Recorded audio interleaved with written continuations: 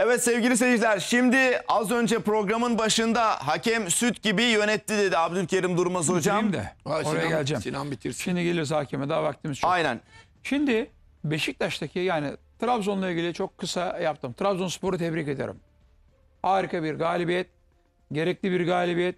Olması gereken Apo'nun dediği gibi iki takım da Beşiktaş da yense hakkıyla Trabzon da yense aynı şekilde. Çok iyi niyetli iki tane futbolcu topluluğu vardı.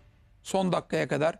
Son dakikada maçın sonunda da bunlar olur. Galibiyetin şeyiyle seyirci işte falan filan. Bunlara çok takılmam ben. Bunlar çok önemli şeyler değil. Bunlar normal şeyler. Ama Sergen Yalçın ve heyeti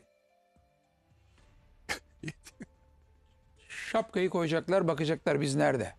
Bakın fizik olarak takım iyi değil. Ha ben bunu yorgunluğuna bağlarım ama başkaları bağlamaz. Hep bunu inat ederler. Ya ne var Avrupalı oynuyor, çarşamba da oynuyor, pazar devamlı oynuyor. Oynuyor da onlarla sen bir değilsin. Sen Avrupa'da yani şimdi ben Beşiktaş'ın Türkiye Ligi'nde üstün bir kadrosu olduğuna söylemiştim. Söyledim. Hala da devam ediyorum kadrosunun çok iyi olduğunu ama iyi oynamıyor kadro. Avrupa maçlarında Beşiktaş Dortmund'u içeride yener dedim. Onu da yener dedim. Normaldir bu sonuçları. İşte yeniyor Galatasaray. Yani berabere kaldı sonuna kadar yeniyor. Yeni, yen, yenilmeyecek bir takım değil. Ama Beşiktaş istediğimiz gibi oynamıyor. İstediğimiz Beşiktaş değil. Yani geçen sene aradığım Beşiktaş değil benim bu. O Beşiktaş. Onun için burada ona göre Şampiyonlar Ligi bittikten sonra Atalan Üsküdar'ı geçmez de inşallah yani diyeyim. Ha Trabzonspor'un şampiyon olmasına da üzülmem. Sevinirim. 40 senedir şampiyon olmamış bir takım hala bu mücadeleyi veriyor. Evet. Hala şampiyonluğa oynuyor. Hala aynı heyecanla devam ediyor. Onun için Trabzonspor camiasının, Trabzonspor taraftarlarını te- tebrik etmek lazım. Bu heyecanı devam ediyor. Yani hocanın dediği gibi bu sene de olabilir o iş. Ama bu kadrosuyla gitmez. Takviye her şart zaman diyorsun. her zaman böyle şanslı bu kadar çok becerikli bir kaleci rastlamaz. Yani Şunu her zaman bu Sinan, kadar şunu fonda diyebilir rastlamaz. Şu anda dört takım şampiyonluğa saldırıyor doğru mu? Evet. Kadrosu en az derin. En sığ Trabzon. olan tartışmasız Trabzon. Hocam Niye? Cervinho sakatlandı. Allah korusun. Makame. Yarın sabah lifi koptu. Allah korusun. İdmanda. Dört hafta yazdı. Hocam Cervinho. Cervinho zaten Gitti sezonu Cervinho. kapattı. Sezonu Bana göre kapattı. Trabzon'un en önemli, en önemli oyuncusu Makame.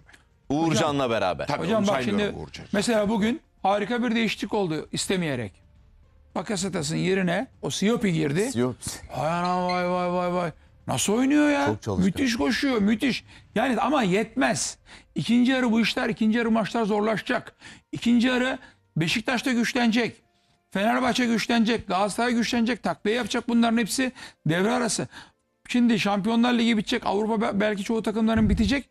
Onun için burada Trabzon'un mutlaka mutlaka takviye yapması şart. Takımına takviye yapması şart. Ondan dolayı ben Beşiktaş'ın bir numaralı sıkıntısının Şampiyonlar Ligi'nde moralsiz ve yorgunluğuna bağlıyorum bu sonuçların. bağlamak istiyorum. Onun dışında 10 puan da kapanır. 12 de kapanır. Ama yap sen bir seri bakalım arka arkaya. Geçen seneki gibi. Sergen Hoca'ya da sorduk 10 puan olayını. Kapanır kapanmayacak diye bir şey yok. Kapandı çok kapandı bunlar. Çözüm çok basit Beşiktaş'ta. Çok basit. İki maçın kaldı doğru mu? Avrupa bitti. Evet. Üçüncü falan da olamazsın. Ajax ve Dortmund. Yedeklerle oyna. Avrupa maçlarında diyorsun. Bak tekrar söylüyorum. Aynı fikir değil. Bu Türkiye'nin en iyi kadrosu Beşiktaş'ta hala Beşiktaş'ta. Bakma sen farklara. Yani Avrupa'ya rotasyonlu kadroyla çık boş ver diyorsun diyorsun mesela. Eleştiriyorlar. Piyaniş diyorsun. İki tane hatırla ne sollara Tamam, oralara ne top. Futbolcu oğlu futbolcu bak. Futbolcu. Piyaniç futbolcu oğlu futbolcu. Ama bakıyorsun sıfırlara iniyorlar. Allah var iyi de savunma yaptı Trabzonspor. İyi savunma. Göbekte möbekte falan müthiş hiç Çok iyi şey vermediler. yaptılar Ama halinde, şimdi Te- Alex Teixeira diyorsun. O da futbolcu oğlu futbolcu. Müthiş futbolcu. Ama şimdi Abdullah Avcı öyle bir oyunu daraltıyor ki akıllı alan daraltıyor. Adam adama yapıyor. Yani öyle bir oyun organizasyonu yaptı ki e, bir de kaleci iyi oynarsa o zaman söyleyecek iyi bir şey yok. Onun için Bireysel yani hata olmasa gol atamayacak. bir de senin bireysel olarak Galatasaray şey Trabzon'un bireysel olarak oyuncularında iyi oynarsa mesela Abdülkadir diyorsun bugün ya. Fırladı gitti mesela. Belki de sezonun en iyi topunu oynadı. Yani öyle goldeki pozisyon. orada Hamşik'in Umut- ara Umut pası, Meraş'ın o da da orada deparla karşılık vermesi Ya, lazımdı. Bir de var Geldi bir de içinden. Umut Meraş'ın savunma yönü hiç yok. Bak savunma yönü hiç yok. Ben ikinci golü Trabzonspor'un attığı ikinci golü Umut Meraş'a seyrettirin. Ya bir savunma oyuncusu böyle böyle böyle bir gitmez ki ya. Bir açık kapatırsın. Bir de ben bak dikkat et Apo. Kanada iniyor ya bir futbolcu orta yapmaya. Bek oyuncu değil mi? Abi bir adamın ne yaparsan orta yapmasın diye biraz açıyı daraltırsın sağ ayağını da yapacak. Orayı kapatırsın. Ya bunlar orta yaptırmayı bekliyorlar. Yapsın. Ya böyle bir şey yok. Yani bu Trabzon Beşiktaş'ta şey ne o? Şeyin Trabzon'u sol bek falan değil herhalde. Tabii tabii. O Normalde orta saha oyuncusu mecburiyetten orada Kızmayalım o oynuyor. zaman çocuğa. Tabii. O zaman kızmayalım. Aynen. Şimdi e, bakıyorum Twitter'a bazı hatta çoğu hakem yorumcusu Berat'ın Gezal'la ceza sahasındaki pozisyonuna penaltı demiş. Oradaki basmaya, temasa penaltı diyorlar. Bunu hemen sormam lazım. bak bir Beşiktaş şey söyleyeyim. taraftarlar Kim soruyor demiş? çünkü bana. Ne da. demiş? Hayır, Ben hayır. sütü Anladım. Bak. Hakem yorumcularının bir kısmı. İşte bu pozisyon. Ya değil penaltı falan bu. Direkt değil diyorsun. Değil kardeşim. Burada temas olabilir. Böyle basit penaltı yok. Zaten Gezzal böyle hop kendini bırakıveriyor üzerinde. Bu penaltı falan değil. Nitekim var davette gelmedi, gelmedi gelmemesi de lazımdı. Hiç kimse bugün hakemin çocuğun yönetimine ki hayatındaki en zor maçını yönetti. Zerre gram gölge düşürmesin. Bak tanımam etmem. Bana göre yüz üzerinden yüzlük maç yönetti. Yüzlerinden yüz. Ben buradan MHK Başkanı'na Hocam- yeni gelen ekibe söylüyorum. Bu çocuğa haftaya da maç ver. Hocam futbolcular da iyi niyetliydi biliyor musun? İyi niyetli tamam mı? Hiç zora sokmadı. Ama şu var Sinan'ım. Hayır, zora Sinan'ım sokmadılar iki tane ters düdük çalarsa bak bakayım o iyi niyet futbolcu şey gibi oluyor mu? Kamikaze gibi olmaya başlıyor mu? Bugün çocuk bana göre yüz üzerinden yüzlük maç yönetti. Ve ben MHK Başkanı'na istirham ediyorum. Bu çocuğa yüklenin. Parlatın çocuğu daha da parlasın. Yani iyi yapanı Parlak ödüllendirin. çocuk zaten hocam. Ödüllendirin. Par- Parlak, bir çocuk zaten. Devam hocam. etsin böyle devam ederse parlar Penaltı hocam. falan değil. Peki Serkan'la Enkudu'nun o son dakikadaki Bunu- pozisyonunda da O- herhalde onu, onu geç de ben bu- fikiriz değil mi? Ha, Tabii ki. Bunun için bunun için ben var mı penaltı diyen bir önceki Şimdi ben bu pozisyon için? maçı daha programın ilk başında ne dedim? Ne hakemi, Onur ne hakemi konuşacağız bu gece dedim. Öyle bir şey yok. Süt gibi bir maç dedik. Süt Evet. gibi tertemiz bir maç. Şimdi sen de diyorsun ki işte Twitter'da baktım. Birçok hakem hocası eski şimdi yorumculuk yapanlar o temin gösterdiğim Gezal'ın pozisyonuna Berat Gezzal. penaltı Ona demişler dönelim. öyle mi? Evet. Ben de onlara diyorum ki halt etmişsiniz. Kimse o penaltı diyen hakem yorumcularına halt, ye- halt etmişler, halt yemişler. Şey Hocam- bak bunlar ne de bu şimdi Hocam şu görüntüye bakarsan mış gibi ben görünüyor. hocam ben görüntüyü 4 yıl önce 5 Orada yıl yere ilk Hocam- basan, yere ilk basan Hocam Berat. tabii ki ben Yere beş- ilk basan Hocam Berat. ben 5 yıl önce bana resim görüntüsü göstermeyin demiştim. Bunlar resim penaltısıdır, resim faulüdür falan filan. Ben maç oynanırken bakarım. Böyle fotoğraflarla falan işim yok benim. Şimdi neden böyle halt yemişler diyorum biliyor musun? Şimdi ne acıdır ki biz bu sene dahil yıllardır bu Türk hakemlerini yeteneksiz falan diye yerden yere vuruyoruz değil mi? Acı olan bunlar hakemlik hayatı bitince oh be diye kurtulduk diye sevinemiyorsun. Hemen hepsi bir televizyon kanalında yorumcu oluyorlar. Anladın mı? Ondan sonra da işte böyle absürt, abuk subuk yorumlar yaparak insanları birbirine düşürüyorlar. Ya sen yıllarca hakemlik yapmışsın. Tamam. Şimdi de yaşın kemale ermiş. Gelmişsin yorumcu olmuşsun. O da tamam. Ol. Buna yani nasıl yüzde yüz buna penaltı diyorsunuz ya? Hiç ya siz size nasıl emanet etmiş futbolcular kendilerini ya? Şimdiki faallere de söylüyorum. Onlar da biliyorsun 5-6 sene sonra bırakacaklar. Onlar da bir hakem yorumcusu olacaklar. Bu arada bırakma demişken Yani Halis bu- Özkahya dünkü Şimdi- olaydan sonra sıcak bir gelişme Evet. onu da söyleyelim. Şimdi Ee, bu bunu hakemliği söyleriz. bırakmak için Şimdi buna, dilekçe verdi. Buna bir hakemin bir dersin ki yorumcu canım senin her yorumun doğru mu Abdülkerim diyebilirsin. E doğru değil ama sen hakemsin ya. Bu pozisyona penaltı diyorsan ortada bir Türk futbolu adına yıllarca demek ki biz haybeye hakem hakem diye feveran etmemiş Türk spor kamuoyu. Hak, hak- haklı etmişiz. Buna penaltı diyen hakem, eski hakem, yorumcu kimse demek ki Allah bizi onlardan korumuş ya. Vallahi korumuş yani. sen de değil Bunlar diyorsun. yani nasıl diyorsun ya? Neye diyorsun ya? Hiç mi top oynamadın? Hiç mi ayağın futbol topuna değmedi? Bunların normal müdahaleler olduğunu, adamın top gittikten sonra ayağının sabit olduğunu ki velev ki bassa bile ayağına verdikten sonra o topun o kaza istem dışıdır. Her zaman söylüyorum. Bak Sinan'ın da benim de ayak baş parmak tırnaklarımız en az 15 kere değişmiştir, çürümüştür böyle basmalardan. Evet. O zamanki hakemler foul bile demezlerdi ki doğruydu. Olur çünkü böyle şey. Burada penaltı olması için o dizin dizin geçememesi lazım ve diziyle darbe yapması lazım şeye. Nedir o Gezal'a. Gezal. Anca o zaman bundan penaltı diye söz edebiliriz. Sen de değil yani diyorsun. şimdi saygı diyor. Ben saygı falan duymam. Böyle saçma sapan yoruma. Neden? Çünkü sen 3 tane hakem yorumcusu buna penaltı dersen yüzde yüz işte ondan sonra kargaşa çıkar. Beşiktaşlı taraftarlar tabii ki sana inanacak eski hakem diye, yorumcu diye. Anladın mı? Başlayacaklar hakkımız yendi diye. Aynı Ya- fikirde ya misin böyle- abi? ben Sence böyle de değil mi? olunca da böyle olunca da işte Türk futbolunda Ben- taraftarlar arasında kaos çıkıyor. Ben Beşiktaş camiasına ve Beşiktaşlı futbolcularına bilmiyorum Sergen ne söyledi. Şimdi vereceğiz. Şu maçla ilgili hakem bu şu bizim canımızı yaktı. Şu penaltı ve bu penaltı yakışmaz. Bu penaltı mı Sinan? Yok abi penaltı falan vermem ben. Buyurun. Ben maçı seyrettim. Kalabalık seyrettik. Trabzon sporlu arkadaşlarım da vardı. Beşiktaşlılar da vardı. Kimse pozisyonlara penaltı falan hep beraber. Bizim yine aynı klasik Umut Güner'in ofiste. Bizim Burak Saral da vardı. Hasan diye bir arkadaşımız vardı. Umut Takı. Bir sürü arkadaşlar hepsi. Herkes ağırlıklı Trabzonlu Beşiktaşlı. Kimse penaltı demedi. Ya şimdi Bak buna Trabzonsporlusa demedi. Hiç kimse demedi. Onun için ben burada bu maçtan sonra bu şey geldi bu Trabzonspor takımı aslan gibi cesaretli çıktı, oynadı. Hani abi bizim Beşiktaş takımı hatırlayın geçen sene Beşiktaş Trabzon maçını ya. Hatırlayın. Ne yaptı Beşiktaş hatırlayın. Ama bir dakika İstanbul'da Trabzon yendiydi Beşiktaş. 2-1 Hocam kaç tane pozisyon var çok hatırla. pozisyon vardı, 50 boğulmuştu. pozisyon falan vardı yani ya. bu öyle maç değil. Trabzon burada harbiden Hani, kafa kafaya oynadı. bakın bu maçı hatırla. Hocam geçen maça baksana sen. Müthiş bir baskı tek kale falan inanılmaz. O Galatasaray maçı gibi Johnson attı ya 1-0 öyle tek kale. Ama bugün şahsiyetli adam gibi çıktı.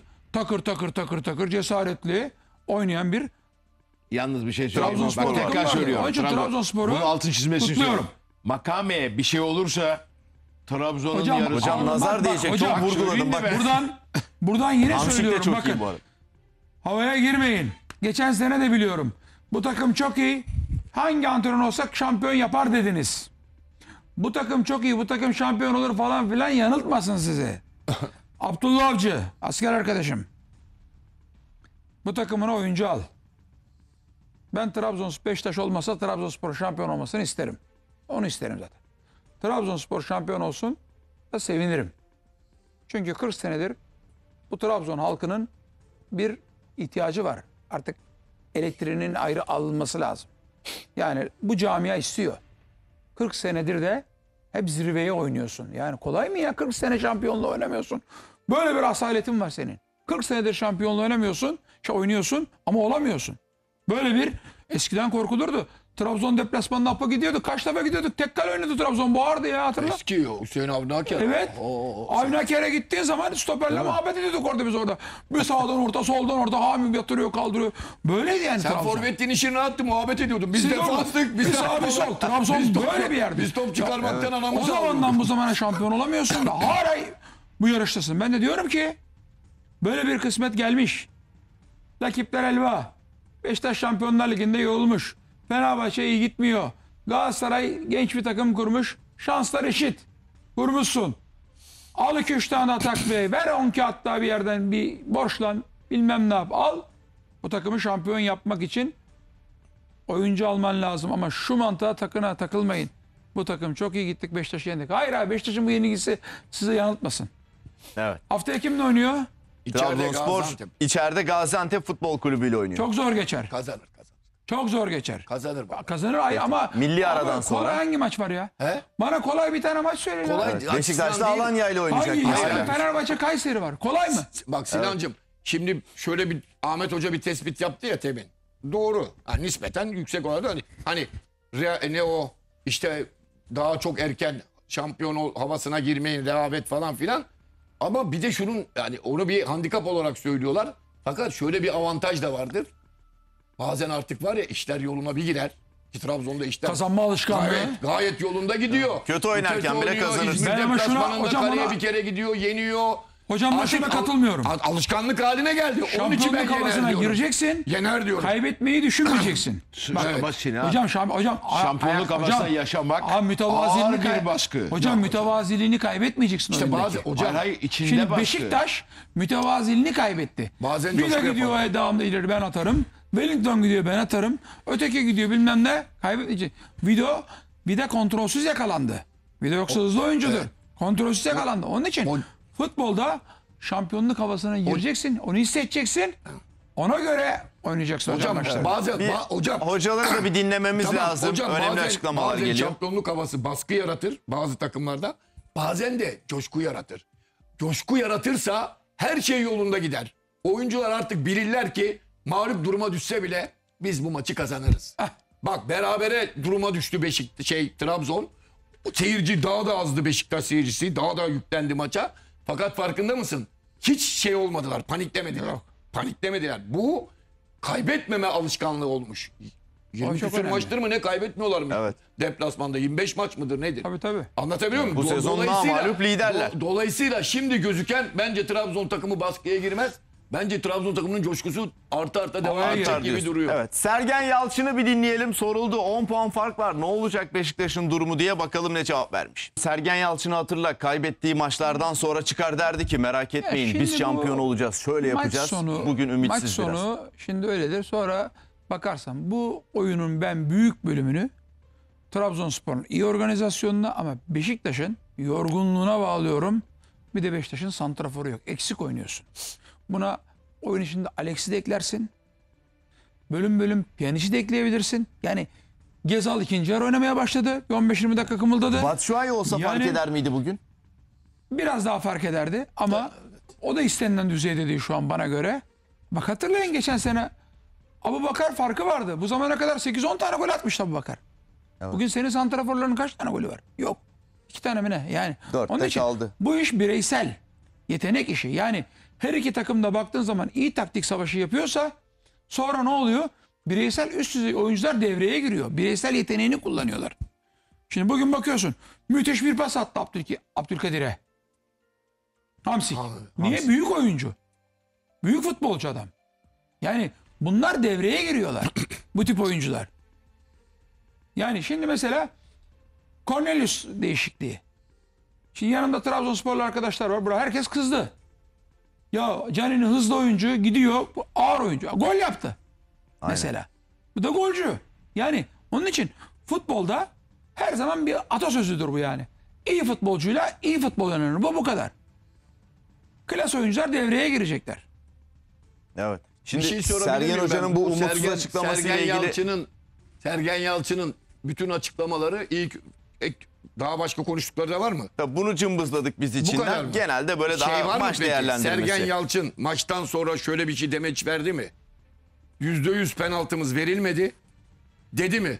Yok. Öyle bir şey dedi mi? Yok hakemle ilgili yok. Zannetmem E konuşmaz. gördün mü? Demedi. Yani senin temin dediğin bu hakem yorumcuları yok mu? Hani o pozisyona penaltı diyen. Hem de birçok birçok diyorsun birçok.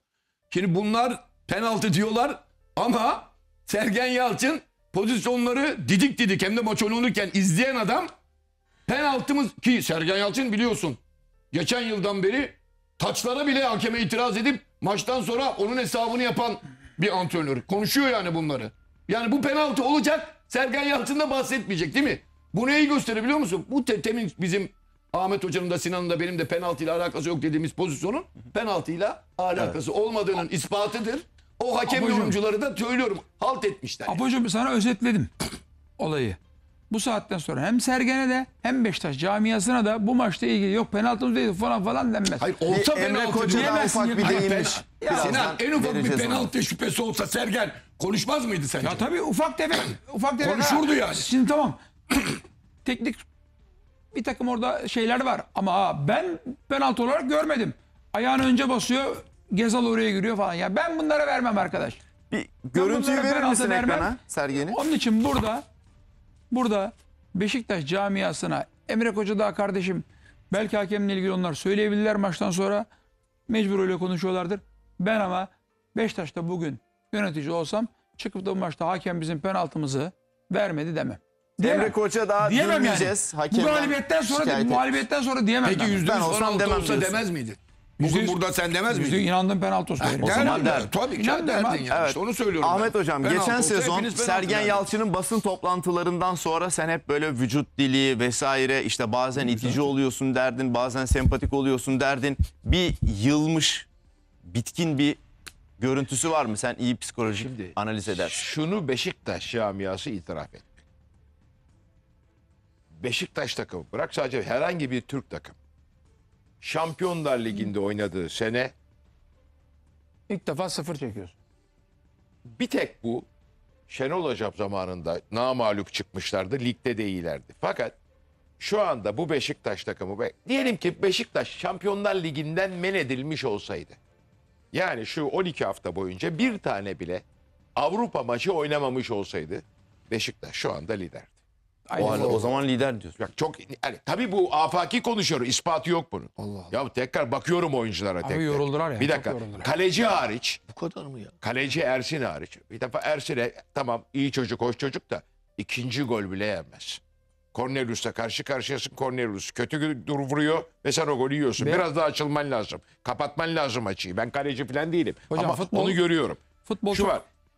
Sergen şunu diyecek. Arkadaşlar 4'te 0 çektik. Utanmayın. Bundan sonra da yedek takılma çıkıyoruz. Rotasyon, full rotasyon. O zaman Hocam, da hocam 6-7 şimdi gol bakın. yersen ne olacak Ya hocam? ne olacak? Hocam, Gezen ne olacak? şimdi Babalar bakın. 8 yedi ne olacak? Hocam bu şimdi bir Sinan Ataş var burada. bir moralsizlik var burada. Tamam. İkiz dedi Sinan. Şampiyonlar Ligi'ndeki alınan sonuçlar. Geçen senenin iki en flash takımısın. Bir. Onun moralsizliği var.